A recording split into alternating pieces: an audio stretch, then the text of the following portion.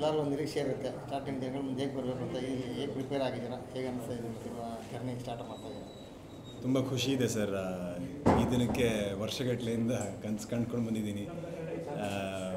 ನಾಲ್ಕು ವರ್ಷದಿಂದ ತಯಾರಿ ಕೂಡ ನಡೀತಿದೆ. ಇನ್ಫ್ಯಾಕ್ಟ್ ಈ ಶೂಟ್ ಮಾಡಿ ನಾವು ಒಂದು ವರ್ಷದ ಮೇಲೆ ಇಪ್ಪತ್ತು ದಿನ ಆಯಿತು. ಸೊ ಆಗಲೇ ಹೇಳ್ದಂಗೆ ಇದನ್ನು ರೆಡಿ ಮಾಡ್ಕೊಂಡು ನಾವು ಒಂದಷ್ಟು ಇನ್ವೆಸ್ಟರ್ ಪಿಚ್ ಮಾಡಿ ಪ್ರೊಡ್ಯೂಸರ್ಸು ಇನ್ವೆಸ್ಟ್ಮೆಂಟ್ ತರೋದಕ್ಕೆ ಯೂಸ್ ಮಾಡ್ಕೊಂಡ್ವಿ. ಸೊ ಈಗ ಒಂದು ಲೆವೆಲ್ಗೆ ಅದೆಲ್ಲ ಸಾರ್ಟೆಡ್ ಸಾರ್ಟ್ ಔಟ್ ಆಗಿದೆ. ನಾವು we are ready to go on floor sir shooting ಹೋಗಕ್ಕೆ ರೆಡಿ ಇದ್ದೀವಿ ಇವಾಗ ಅಂದರೆ ಈಗ ಆ್ಯಕ್ಟಿಂಗು ಡ್ಯಾನ್ಸು ಫೈಟ್ ಎಲ್ಲದೂ ಅಂದರೆ ಮಾಡಿದ್ರೇ ಸರ್ ಒಂದು ಒಂದು ಲೆವೆಲ್ಗೆ ಸರ್ವೈವ್ ಆಗೋಕ್ಕೆ ಸಾಧ್ಯ. ಸೊ ಆ ಪ್ರಿಪ್ರೇಷನ್ಸ್ ಗ್ಯಾರಂಟಿ ನಡೆದಿದೆ.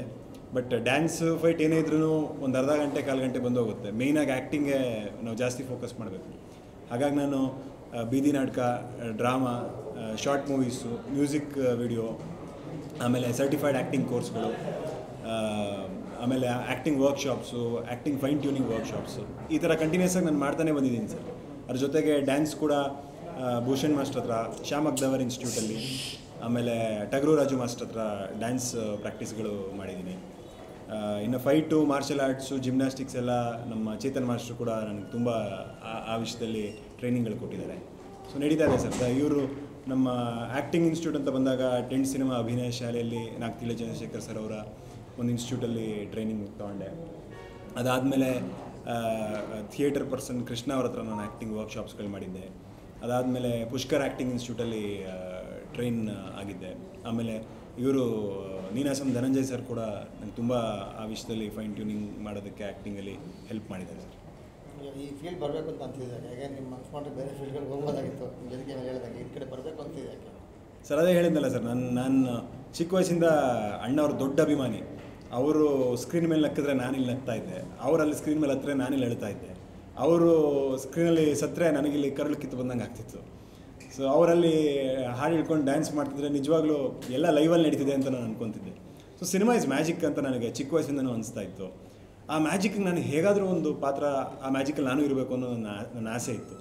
ಅದು ಟೆಕ್ನಿಷಿಯನ್ ಆಗಿರ್ಬೋದು ಅಥವಾ ಸಿಂಗರ್ ಆಗಿರ್ಬೋದು ಆ್ಯಕ್ಟರ್ ಆಗಿರ್ಬೋದು, ಇನ್ನೊಂದು ಮತ್ತೊಂದು ಯಾವುದಾದ್ರೂ ಆಗಿರಲಿ, ಯಾವುದಾದ್ರೂ ರೀತಿ ಆಗಿರಲಿ ನಾನು ನಾನು ಆ ಫೀಲ್ಡಲ್ಲಿ ಇರಬೇಕು ಅನ್ನೋದು ನನ್ನ ಆಸೆ ಆಗಿತ್ತು. ಸೊ ಹೋಗ್ತಾ ಹೋಗ್ತಾ ಆ ಕನಸಂಗೆ ಚಿಗುರೊಡೆದು ಇಲ್ಲಿವರೆಗೂ ಕರ್ಕೊಂಡ್ಬಂದು ನಿಲ್ಸಿದೆ.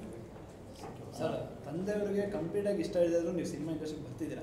ಸೊ ನೀವು ಪ್ರೇಕ್ಷಕರನ್ನು ರಂಜಿಸೋದಕ್ಕೆ ಅಥವಾ ಮೆಚ್ಚೋದಕ್ಕಿಂತ ಮೊದಲು ನಿಮ್ಮ ತಂದೆಯವ್ರನ್ನ ಮೆಚ್ಚೋದು ತುಂಬಾ ಇಂಪಾರ್ಟೆಂಟ್ ಅನ್ಸುತ್ತೆ. ಅದಕ್ಕೆ ಅದಕ್ಕೆ ಎಷ್ಟು ಕಾನ್ಫಿಡೆಂಟ್ ಆಗಿದ್ದೀರಾ ಅಂತ ಮೊದಲು ಸರ್ ನೀವು ಈಗೇನು ನೋಡ್ತಿದ್ದೀರಾ?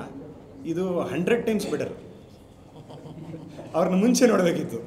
ಬಾಯಲ್ಲೆಲ್ಲ ಒಳ್ಳೆ ಪದಗಳನ್ನ ಉಪಯೋಗಿಸಿ ಹೊಗಳಿ ಎಲ್ಲ ಹೊಗಳಿಸ್ಕೊಂಡು ಇಲ್ಲಿವರೆಗೂ ಅವ್ರು ಬಂದಿದ್ದಾರೆ ಅಂದರೆ ಆ ಪ್ರಾಡಕ್ಟ್ ನೋಡಿ ಆ ಪ್ರಾಡಕ್ಟ್ ಬಗ್ಗೆ ಜನ ಮಾತಾಡಿ ನಮ್ಮ ಟೀಮ್ ನೋಡಿ ನಮ್ಮ ಡೈರೆಕ್ಟ್ರ್ ನೋಡಿ ಜನ ಅದ್ರ ಬಗ್ಗೆ ಒಂದೆರಡು ಒಳ್ಳೆ ಮಾತುಗಳು ಆಡಿದ ಮೇಲೆ ಅವ್ರಿಗೂ ಏನೋ ಒಂದು ಪಾಸಿಟಿವ್ ಫೀಲ್ ಬಂದಿರೋದಕ್ಕೆ ಇಲ್ಲಿವರೆಗೂ ಬಂದಿರೋದು. ನಾನು ಇವತ್ತು ಕೂಡ ಅವ್ರು ಇಲ್ಲಿಗೆ ಬರ್ತಾರೆ ಅಂತ ನಾನು ನಂಬೇ ಇರಲಿಲ್ಲ. ಇಲ್ಲಿ ಗೇಟ್ ಹತ್ರ ಬಂದಾಗಲೇ ನನಗೆ ನಂಬಿಕೆ ಆಗಿದ್ದು, ಓ, ಬಂದಿದ್ದಾರೆ ಅಂತ. ಸೊ ನೀವೇನು ನೋಡ್ತಿದ್ದೀರಾ? ನನ್ನ ಪ್ರಕಾರ ಅವ್ರು ಇಲ್ಲಿವರೆಗೂ ಬಂದಿರೋದೇ ನಾನು ಮಾಡಿರೋ ದೊಡ್ಡ ಸಾಧನೆ ಸರ್. ಸಿನಿಮಾ ರಿಲೀಸ್ ಆಗೋ ಅಷ್ಟೊತ್ತಿಗೆ ನನ್ನ ಕಾನ್ಫಿಡೆನ್ಸ್ ಇದೆ, ಅವರು ಥಿಯೇಟರ್ಗೆ ಬಂದವರು ಇಪ್ಪತ್ತು, ಇಪ್ಪತ್ತೈದು ವರ್ಷ ಆಯ್ತು ಥಿಯೇಟರ್ಗೆ ಹೋಗಿ ಸಿನಿಮಾ ನೋಡಿಲ್ಲ. ಈ ಸಿನಿಮಾ ನೋಡೋ ಲೆವೆಲ್ಗೆ ಈ ಸಿನಿಮಾ ಆಗುತ್ತೆ ಅನ್ನೋ ನನ್ನ ನಂಬಿಕೆ ಇದೆ. ಅವರು ಗೊತ್ತಲ್ಲ ಮೇಡಮ್, ಅವ್ರಿಗೆ ಯಾರು ಬೇಕಾದ್ರೂ ಪರಿಚಯ ಮಾಡ್ಕೋಬೋದು. ಅದೇನು ದೊಡ್ಡ ವಿಷಯ ಅಲ್ಲ. ಸಿಂಪಲ್ ಸುನಿ ಹೆಸರು ತಕ್ಕಂಗೆ ಸಿಂಪಲ್ ಆಗೇ ಇರ್ತಾರೆ. ಸೊ ಅವರು ಕಮಲಮ್ಮನ ಇಲ್ಲಿ ಕ್ರಿಕೆಟ್ ಆಡ್ತಿರ್ತಾರೆ. ಅಲ್ಲೆಲ್ಲೋ ರೋಡ್ ಸೈಡಲ್ಲಿ ರಾಜಾಜಿನಗರಲ್ಲಿ ನಿಂತ್ಕೊಂಡು ಪಾನಿಪುರಿ ತಿಂತಿರ್ತಾರೆ. ಸೊ ಅವ್ರು ಪರಿಚಯ ಮಾಡ್ಕೊಳ್ಳೋದು ದೊಡ್ಡ ವಿಷಯ ಅಲ್ಲ. ಬಟ್ ಏನಂತಂದರೆ, ನಾನು ಅವ್ರನ್ನ ಪರಿಚಯ ಮಾಡ್ಕೊಳ್ಳೋ ಅಷ್ಟೊತ್ತಿಗೆ ಅವ್ರಿಗೆ ಆಲ್ರೆಡಿ ನನ್ನ ಬಗ್ಗೆ ಗೊತ್ತಿತ್ತು. ನನ್ನ ಪಿಕ್ಚರ್ಗಳು ನೋಡಿದರು. ನನ್ನ ಶಾರ್ಟ್ ಮೂವೀಸ್ಗಳು ನನ್ನ ಫೋಟೋಸ್ಗಳು ನೋಡಿದರು, ನನ್ನ ಶಾರ್ಟ್ ಮೂವಿಗಳು ನೋಡಿದರು, ನನ್ನ ನಾಟಕದ ವೀಡಿಯೋ ನೋಡಿದರು. ನನ್ನ ಬಗ್ಗೆ ವಿಚಾರಿಸ್ಕೊಂಡಿದ್ರು. ಅವ್ರ ಅಸಿಸ್ಟೆಂಟ್ಗಳ ಮುಖಾಂತರ ಅವ್ರಿಗೆ ನನ್ನ ಬಗ್ಗೆ ವಿಷಯ ಗೊತ್ತಿತ್ತು. ಸೊ ನಾನು ಹೋಗಿ ಅವ್ರನ್ನ ಅಪ್ರೋಚ್ ಮಾಡಿದಾಗ, ಅವ್ರಿಗೆ ನಾನು ನೇರವಾಗಿ ಹೇಳಿದೆ, ನಾನು ನಾನು ಯಾವುದಾದ್ರೂ ನಿಮ್ಮ ಸಿನಿಮಾದಲ್ಲಿ ಒಂದು ರೋಲ್ಗೆ ನಾನು ನಾನು ಸೂಟ್ ಆಗ್ತೀನಿ ಅಂತ ಅನ್ಸಿದ್ರೆ ನನಗೊಂದು ಅವಕಾಶ ಮಾಡಿಕೊಡಿ ಅಂತ ಕೇಳಿದೆ. ಸೊ ಅಫ್ಕೋರ್ಸ್ ಅವರು ಇದೆಲ್ಲ ನೋಡಿನೇ ನನಗೊಂದು ಅವಕಾಶ ಕೊಟ್ಟಿದ್ದಾರೆ ಮೇಡಮ್